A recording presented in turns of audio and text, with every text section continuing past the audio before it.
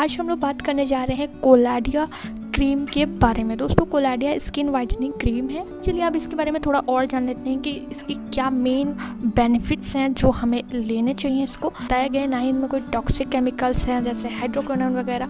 ये सब नहीं पड़े हैं मतलब हार्मफुल केमिकल्स नहीं मौजूद है। बस इसमें जो भी मौजूद है, वो सब हर्बल है एंड ऑर्गेनिक है, और सब सेफ़ हैं। लेकिन इनकी क्वान्टिटी नहीं बताइए कि कितनी पड़ी हुई है।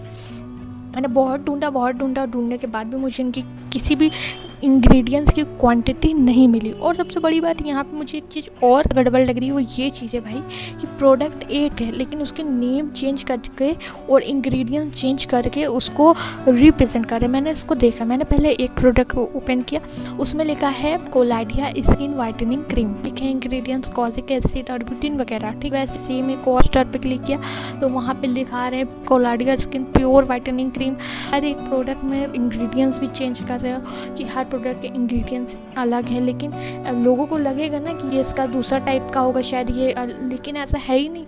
वो सेम प्रोडक्ट है सेम रेटिंग उसमें जा रही है सेम जितने लोगों ने पहले प्रोडक्ट लिया सेम वही चीज़ उसमें भी दिख रही है तो मुझे ये चीज़ समझ नहीं आ रही है, इसके अलग अलग पोस्टर या फिर अलग अलग तरीके से उसे नेम सिर्फ़ एक वर्ड चेंज करने से क्या पूरी क्रीम चेंज हो जाती है, मुझे ये नहीं समझ में आ रहा है इन लोगों का। प्लस जो रेटिंग की बात आई है तो यहाँ मैं रेटिंग का खेल बता दूँ कि मीशो में क्या होता है एक्चुअल में। अगर आप किसी भी प्रोडक्ट को मंगाते हो तो वहाँ पर आपको एक कूपन मिलता है। उसमें लिखा रहता है कि अगर आप इस प्रोडक्ट को फाइव रेटिंग दे के स्क्रीन हमारे व्हाट्सअप नंबर पर भेजोगे तो आपको पचास रुपये का कैशबैक मिलेगा। ऐसे में क्या करते हैं लोग, उसमें फाइव भले प्रोडक्ट यूज़ किया हो या ना कैसा हो, ख़राब हो, कैसा, लेकिन उनमें सब लोग फाइव रेटिंग दे देते भाई पचास रुपये की बात है, कोई क्यों छोड़े?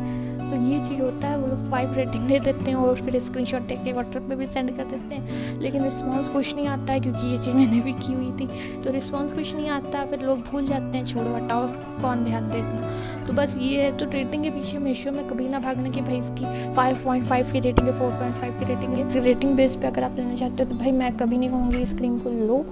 अलग अलग इंग्रेडिएंट लिखने से कोई प्रोडक्ट अलग नहीं हो रहा है ना, वो सेम तो सेम ही प्रोडक्ट है ना। मुझे जब डाउट है इस क्रीम को लेकर तो मैं आपको कभी सजेस्ट नहीं करूँगी। मिलते नेक्स्ट वीडियो में, जब तक अपना ध्यान रखें, धन्यवाद बाय